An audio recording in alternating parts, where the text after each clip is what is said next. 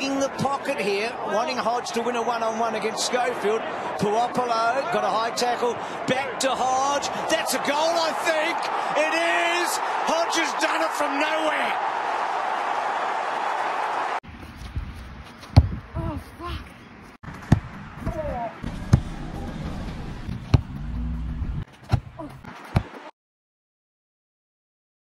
Puopolo got a high tackle, back to Hodge. That's a goal, I think. It is. Hodge has done it from nowhere.